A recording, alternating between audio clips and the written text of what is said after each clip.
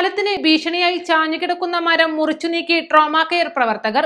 K N G റോഡിൽ എടക്കര പാലത്തിലേക്ക് ചാഞ്ഞ ചീനിമരമാണ് എടക്കര വഴിക്കടവ് സ്റ്റേഷനുകളിലെ ട്രോമാ കെയർ പ്രവർത്തകർ വെട്ടിമാറ്റിയത്.